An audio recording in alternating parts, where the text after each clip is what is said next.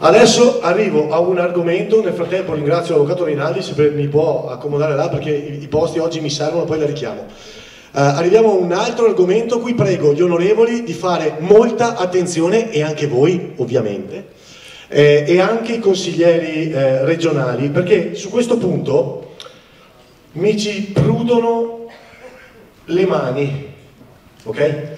Eh, e, e, mi viene un prurito da un'altra parte pensando alla popolare di Vicenza, quindi fate bene attenzione per favore, l'argomento sembra difficile ma ve lo spiego in maniera molto semplice. Volevo qua l'ingegner Scarano, eh, analista finanziario indipendente, consulente di report, giusto? Del Fatto Quotidiano? E di... basta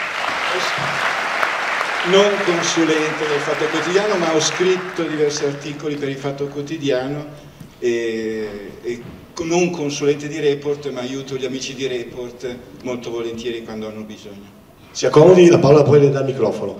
Eh, la questione è Veneto Banca in LCA e Popolare di Vicenza in LCA. Vai avanti Mario. Allora, noi abbiamo fatto abbiamo guardato il sito delle due LCA, questa volta abbiamo osservato di più quello di, di, di Veneto Banca, perché se no siamo sempre puntati su Popolare di Vicenza e poi il naso prudeva più qua, quindi vi dico, la, for la fortuna o la sfiga loro ci ha portato qua. I commissari liquidatori informano che è in via di conclusione l'analisi di oltre 13.000 domande di insinuazione al passivo. Voi sapete che le due banche sono state sciolte Okay, una parte è andata d'intesa per 50 centesimi a banca, quindi un euro, e il restante è rimasto all'interno delle due liquidazioni coate amministrative. Bene, all'interno delle due mm, liquidazioni coate amministrative ci sono, all'interno di quella solo Veneto Banca, 13.000 soggetti, risparmiatori, che si sono insinuati e hanno fatto domanda di insinuazione al passivo. Bene, Andiamo avanti, questo è un altro comunicato sempre eh, riguardo alla, alla, um, alla uh, chiusura dello stato passivo, dove la banca dice si fa seguito a quanto comunicato in data 22 ottobre 2021, quella che vi ho detto prima, per segnalare che le operazioni di redazione dello stato passivo del Veneto Banco SPA liquidazione, quarta amministrativa, si concluderanno in data 17 gennaio. Fate attenzione alle date. 17 gennaio, firmato Roma 4 gennaio. Quindi il 4 gennaio, loro dicono finiremo il 17 di gennaio. Cos'è quanto? Due settimane? Due settimane. All'interno di... Eh, all'interno della documentazione che poi abbiamo trovato sempre di Veneto Banca, prego. Ce l'hai il link? Scusate perché oggi abbiamo caricato un sacco di file. Eh? Tirami fuori il link. Mario ti sto domandando impossibile oggi. Ce la fai?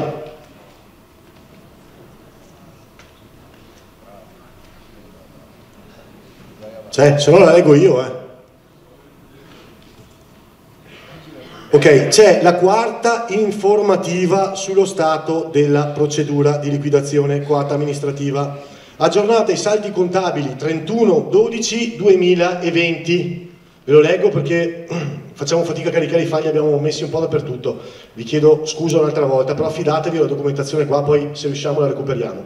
Ripeto, dati aggiornati ai saldi contabili 31-12-2020 e questa relazione è stata pubblicata 28 marzo 2022 due anni per fare una relazione del 2020 due anni, questi più che liquidatori, mi pare amministratori che con calma. Ma eh, aspetti, aspetti che arriviamo a un punto. Andiamo avanti ancora. Vai avanti Mario. Facciamo tutta la cronostoria che così capiscono tutti. Sai la lettera?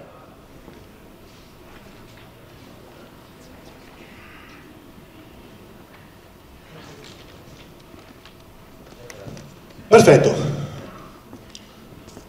Qui abbiamo scritto noi a Veneto Banca, attenzione qua, il 16-1-2023, guardate la data, poiché nella relazione informativa 2020 Veneto Banca in LCA, eh, ultima disponibile sul sito, relativa alla situazione 31-12-2020, ma con data 28-3-2022, si legge, alla data della presente relazione si informa che tutte le 13.000 istanze pervenute dopo il censimento, la classificazione e la catalogazione informatica dell'ingentissima documentazione prodotta sono state realizzate ed in fase conclusiva le attività di individuazione secondo le norme in vigore delle domande eh, di non ammettere di quelle da ammettere allo stato passivo della procedura. Ci chiediamo come mai vi siano relazioni così datate e poco aggiornate, ma soprattutto perché a distanza di quasi un anno il deposito dello stato passivo non sia ancora avvenuto e quali siano i tempi in cui il deposito è previsto, cioè nei quali diciamo, siccome avete scritto il 4 di gennaio che sarebbe chiuso il 17 di gennaio lo stato passivo del 2022, siccome siamo al 16-1-2023, mi sembra che qualche giorno in più sia passato, come mai non avete ancora depositato? Cioè sono dei commissari, sono dei commissari liquidatori, sono dei funzionari pubblici, non sono Pino, Pasquale, Pluto e Papelino. Quindi io ritengo che, per carità, magari non hanno rispettato pienamente la data, non possono rispettare pienamente la data dei 15 giorni che loro si sono dati però a distanza di un anno io ritengo che almeno una risposta a un'associazione che rappresenta la metà di quelle 13.000 istanze sia giusto darla. Andiamo avanti. Poi c'è la quinta informativa, se riesci a tirarla fuori. Se no ve la, ve, la, ve la racconto io un'altra volta, non è un problema. La quinta informativa di Veneto Banca, eccola qua,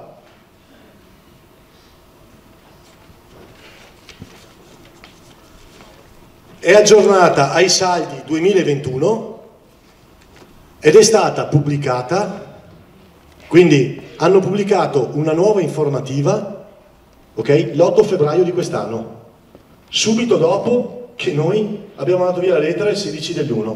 Quindi noi abbiamo mandato via la lettera il 16 dell'1, avevamo una quarta informativa lì ferma che ci hanno messo due anni a produrre, improvvisamente subito dopo la nostra lettera del 16 dell'1 l'ho mandato fuori la quinta informativa.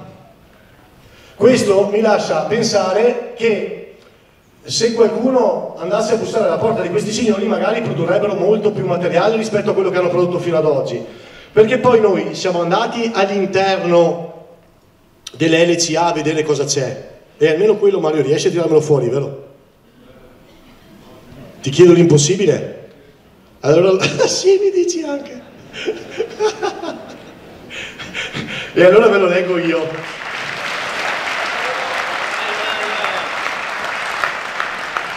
Guardate essere rimasti fino a luna di stanotte su questa roba qua. Eh. Comunque ve la leggo io. All'interno di Veneto Banca e NLCA, così come dentro la, la, la, la liquidazione popolare di Vicenza, cos'è che c'è? C'è la ricchezza che è rimasta residua degli attivi da smobilitare. Cosa vuol dire? Partecipazioni azionarie. Ad esempio, Qua ho una relazione che siamo andati a spulciare e che abbiamo costruito. Quindi di notte c'è gente che, che, che, si dà da fare e non dorme, no? Ad esempio, banca intermobiliare di investimento e gestionale. Cessione a, a Testor Capita LLP di una partecipazione. Ok? Eh, per un corrispettivo di 24 milioni di euro, quindi non si parla di bruscolini, qua si stanno cedendo attivi delle banche che valgono milioni, decine di milioni di euro. Claris Leasing, sottoscrizione di contratti preliminari con Cassa Centrale Banca Credito Cooperativo del Nord-Est per la cessione di Claris Leasing. Quindi qua nel sito loro mettono il nome della partecipazione che hanno e dove la stanno cedendo. Ok? Eccolo qua, bravissimo Mario, bravissimo. Quindi l'impossibile si può. Vai avanti e scorri. Vi ho letto quelle di cui siamo riusciti a ricevere e, e, e capire che fine avevano fatto le cessioni. Si parla di cessioni di milioni di euro, eh? ripeto, di milioni di euro. Andiamo avanti, vai avanti, vai avanti, scorri, scorri il foglio. Questo è Banca Intermodale di Lanzaretta, questo è Claris che vi ho appena letto, eccolo lì. Attenzione, attenzione, vai, vai, vai, vai, vai. Vedete qua c'è del lato sinistro eh, Palladio Holding, nel lato destro sulla base di indiscrezioni di stampa eh, l'interno lato di partecipazione sarebbe stato acquistato da Sparta Holding, questo è quello che siamo riusciti a risalire. Eh, vai avanti Mario. Qua ci sono delle partecipazioni, io vorrei che gli onorevoli facessero attenzione a questo. Vai sotto, vai sotto, vai sotto, vai sotto, vai sotto, ancora, ancora, pagina 4 che è la migliore di tutte. Eccola qua, fermo qua, fermo qua. Ver Capital SGR. Vendita di 240.000 azioni. Vendita, nessuna informativa reperita. Non c'è nulla che abbiamo cercato dia eh, il senso di quello che è successo con questa vendita. Vai in quella sotto. Un altro, Alto Capital 3, immobiliare, sottoscritto pari, aspetta, aspetta, aspetta, aspetta, avviso di vendita di 60 quote per un importo sottoscritto pari a 3 milioni di euro, quindi ripeto, no bruscolini, nessuna informazione reperita. Adesso io mi domando se in questa regione, in questo posto, in questo Stato, questi signori possono permettersi di fare cessioni senza spiegare a chi e come. Sono dei commissari, sono dei pubblici ufficiali. Dov'è la trasparenza? Prego, ingegnere. Ma eh, guardando tutta questa documentazione che è ponderosa, ma è apparentemente ponderosa, in realtà manca di elementi essenziali, perché qui abbiamo delle cifre di vendita, ma spesso non viene specificato il quantum e neppure a chi. Ed effettivamente questo patrimonio delle due banche venete, che è un patrimonio, come dire, di tutti, di tutti voi, non viene rappresentato con trasparenza a tutti voi. Se voi andate nel sito trovate un elenco di documenti, ogni qualche mese esce fuori un comunicato, ma un comunicato lacunoso, insomma, insufficiente a farsi un'idea di dove va tutta questa ricchezza, che è una ricchezza di tutti voi. Cioè, io penso che questi commissari sono, parafrasando Shakespeare, persone onorevoli, immancabilmente onorevoli, certamente onorevoli, stanno facendo un pregevolissimo lavoro, ci mancherebbe. E non siamo qui a confutare il grande lavoro che i commissari stanno facendo, e però non appare tutto questo lavoro, non appare in trasparenza, non appare a tutti voi. E quindi eh, ci dovrebbe essere un impegno di tutti voi, certamente questa associazione è l'unica che ha avuto la capacità di scrivere, di colloquiare, ma i commissari neanche rispondono. Ecco, eh, certamente noi abbiamo, come dire, anche una vulgata molto, molto popolare dell'opacità delle sezioni fallimentari, dei giudici, dei, dei liquidatori, di questo mondo molto, anche molto inquinato. Ma noi siamo sicuri questi commissari sono tutti onorevoli, certamente onorevoli, però devono essere sollecitati a dare tutti gli elementi per capire dove va e come è gestita questa ricchezza che insinuandosi al passivo, se rimane qualcosa, è anche vostra. Bene, io su questo punto ripeto e ribadisco, vorrei che ci fosse più partecipazione da parte di tutti e quando parlo di tutti parlo anche di quelle altre associazioni che si occupano dei risparmiatori, perché noi queste cose le solleviamo, ok? Ma non possiamo essere sempre gli unici a sbatterci in questa maniera. Ok? Quando poi c'è gente che va in televisione, quando poi c'è gente che va in televisione a dire se Ugone ha detto qualcosa di dritto, di storto, di rovescio, voi di quello che dice Ugone fregatevene perché è indipendente da questi fatti, andate a scavare, fatevi un'associazione costruita bene vostra, incominciate a lavorare con, con sudore e fatica, perché a noi questi dati sono costati sudore e fatica di meraviglio anche dei giornalisti che vanno a scrivere le boiate che avete visto prima sui 300.000 euro e non trovo un giornalista d'inchiesta in questa regione che prende in mano le carte e comincia a fare il lavoro che abbiamo fatto noi. Ma perché?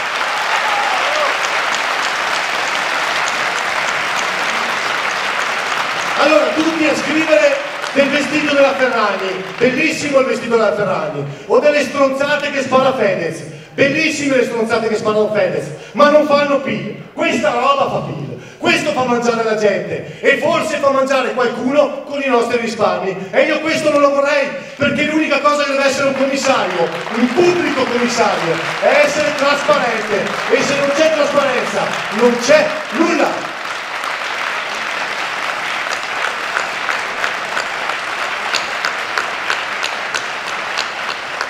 Se qualcuno vuole intervenire, prego, potete intervenire, ripeto, anche contro quello che ho detto. Eh. non c'è nessun problema. Qualche onorevole che se la sente? Con calma, non è obbligatorio. Io so che siete tutta gente seria e che prendete appunti. Li conosco tutti. Chi è? Dove? Tra il pubblico? E come vi arriviamo col microfono tra il pubblico, ragazzi? Un attimo e pazienza, no, volevo interventi da quelli di Roma perché con tutto rispetto possono fare un passo in più rispetto a noi. Volevo qua della platea qualcuno, ma ripeto, senza impegno perché, ripeto, è tutta gente seria, sono venuti qua, li conosco e ci hanno dato una mano in molte occasioni, poi li prenderemo uno a uno, ve li faccio vedere, ve li presento anche in maniera un po' più compiuta, chiedendo sempre scusa per i tempi che, che, che, che sono contingentati. Comunque questo punto, questa situazione, io ci tengo e ci terrei che i commissari fossero più trasparenti per noi e per il territorio, perché dopo vi faccio vedere cosa c'è all'interno delle banche, perché non è finito qua lo studio che abbiamo fatto. E vorrei dire anche ai commissari che non ci trattino come fossimo plebaglia. Ci hanno dato un appuntamento, e su questo li rispettiamo, ci hanno dato un appuntamento iniziale sia Popolare di Vicenza che Veneto Banca, sul quale eh, appuntamento ci hanno spiegato alcune dinamiche. E per questo li ringraziamo, bene, ma noi siamo gli insinuati al passivo. Noi siamo quelli che lì dentro hanno dei diritti, oltre a essere quelli che lì dentro ci hanno messo i soldi per comprare quello. Oltre al fatto che una società che oggi detiene del capitale in liquidazione e che può influire nel bene o nel male all'interno di CDA che sono del territorio e non sanno dove vanno a finire le loro azioni, beh a me questo preoccupa. A me questo preoccupa. Qua ci sono degli equilibri che possono essere economici, politici o anche di più. Quindi io su questo, ripeto, pretendo trasparenza da parte dei commissari, magari non con me, magari non con l'avvocato Filippini, magari non con l'ingegnere Scarano, pubblicamente, che pubblichino quello che devono pubblicare. Ok? Perché io so di stare antipatico e quindi non pretendo che mi rispondano. Però pretendo i dati, perché rappresentiamo 3.500 risparmiatori. È una ricchezza del Veneto che è importante e che danno a mangiare anche a loro. Ripeto, fanno i commissari liquidatori, non i gestori. Eh? Lo ripeto, fanno i commissari liquidatori. Andiamo avanti Mario. E questa è la lettera, scusate, che abbiamo scritto ai commissari per dirgli esattamente quello che vi ho appena detto. Andiamo avanti.